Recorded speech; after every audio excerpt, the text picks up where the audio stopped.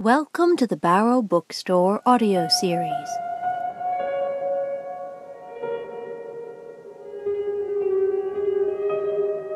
The Spider and the Fly, a Fable by Mary Howitt.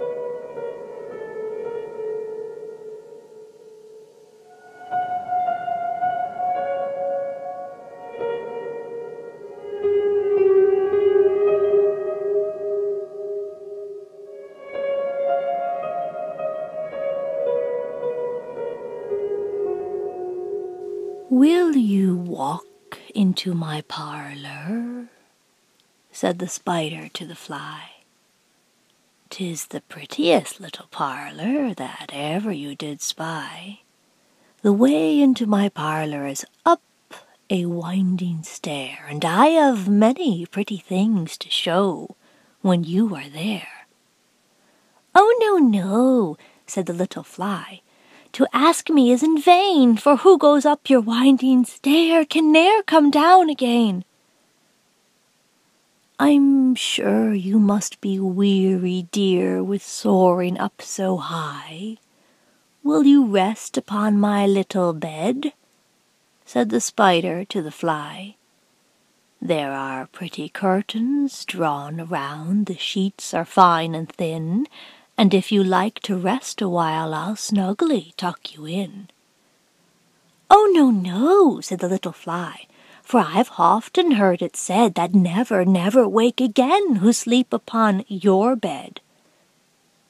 Said the cunning spider to the fly, Dear friend, what shall I do to prove the warm affection I've always felt for you?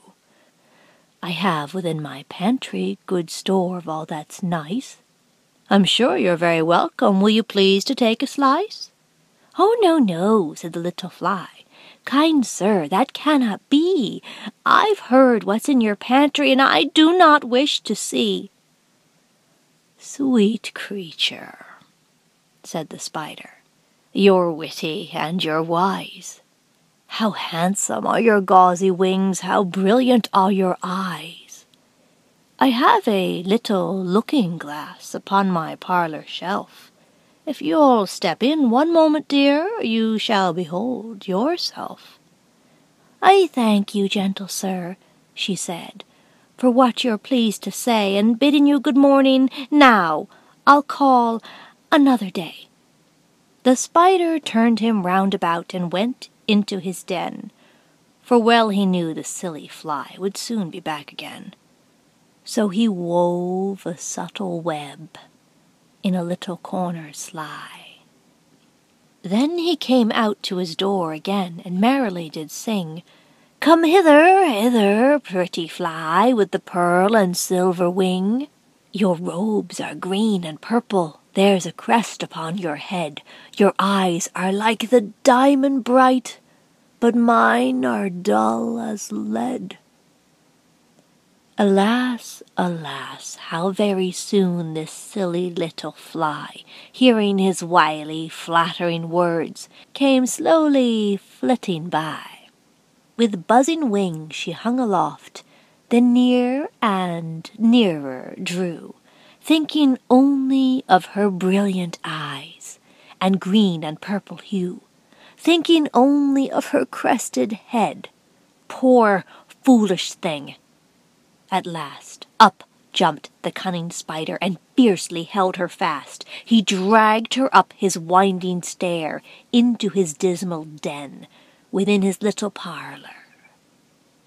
But she ne'er came out again.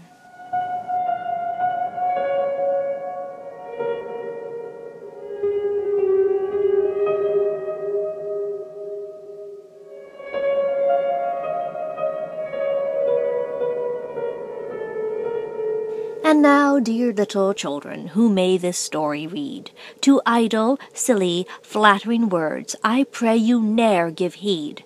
Unto an evil counsellor close heart and ear and eye, and take a lesson from this tale of the spider and the fly.